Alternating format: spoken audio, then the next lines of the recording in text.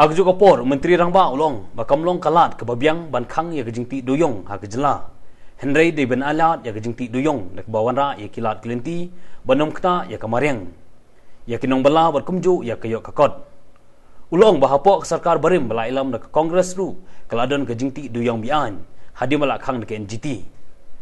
Ulong bak sarkar ke shem jing e bante lakam ya kejingti doyong bian namar kidi gijaka bajengai hadu saupo hadu sausan kilometer nagi jaka shnong.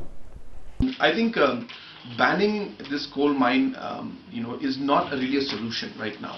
You know, what the correct solution is really to ensure that uh, whatever um, uh, whatever um, uh, activities that takes place must be regulated, must be safe, and I think environment and safety of miners must be given priority, and the regulation must be such so that the economic condition also is not affected of the people. So I think there can easily be a way forward where we ensure that safe, scientific, and uh, you know, uh, and minor safe, uh, you know, techniques are used.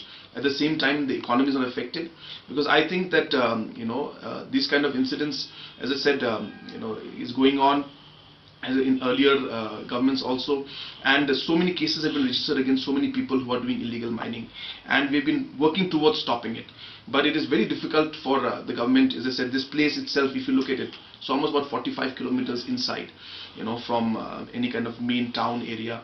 Uh, it's very difficult for uh, agencies for the, the police to always keep a watch on all this. So therefore the best way forward would be to come out with a regulated safe uh, procedure, mining procedure, and allow the mining to take place. But as I said, keeping in mind the environment and the safety of the miners.